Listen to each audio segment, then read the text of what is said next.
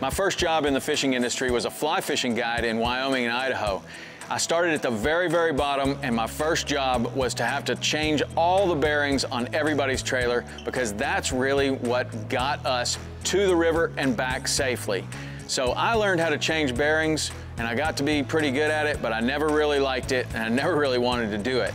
Now, we're very fortunate that when we get our new Ameratrail trailers, they come with a hub that is a six-year, 100,000 mile warranty, grease sealed, ready to roll. For 100,000 miles, I can trust those bearings and I don't have to check them regularly at all. But a lot of people will operate out of a marina and they'll, they'll either have their boat in dry dock storage or just tied up at the dock and they'll keep their trailer in storage. Then, when it's time to go explore someplace like going down to Key West or going up to Biscayne Biscayne Bay or taking a long trip somewhere, or maybe you're going to evacuate from a hurricane, they put their boat on the trailer and then they have bearing problems. If you're keeping your boat stored somewhere, make sure that you think far enough ahead to where that you, you can get that trailer to a mechanic and have them either service or at least check your bearings for you if you don't know how to do it yourself. Good bearings are really important. They come standard on the Ameratrail trailer, and I'm glad I don't have to think about it anymore for six years or 100,000 miles.